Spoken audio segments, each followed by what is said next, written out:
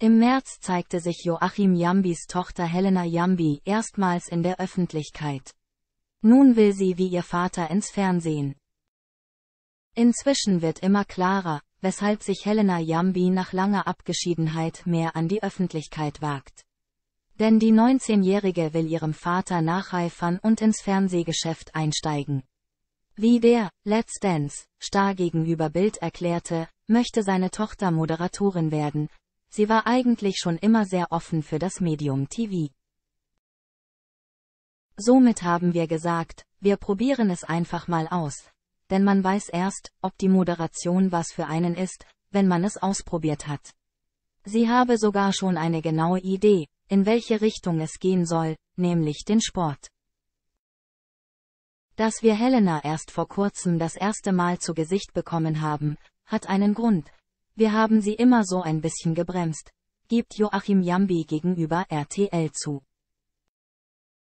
Auch ihre Social-Media-Profile musste sie privat halten.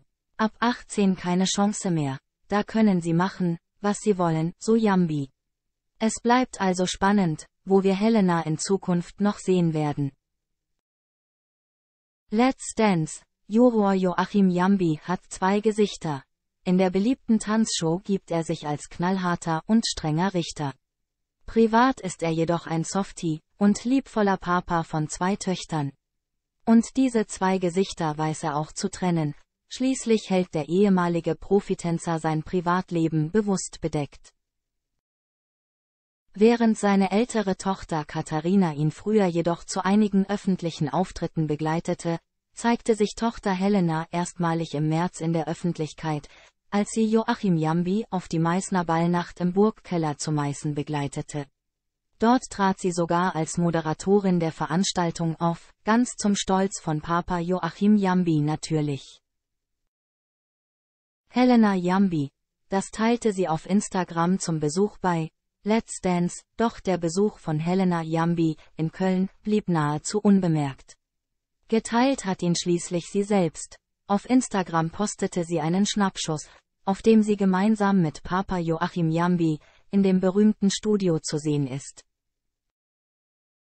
Darunter schreibt sie, sehr schöner Abend bei Ed Let's Dance, und verlinkt Papa Joachim. Weiter heißt es, wir sehen uns im Mai beim Ed European Dance Award, hier übernimmt das Vater-Tochter-Duo am 11. Mai gemeinsam die Moderation.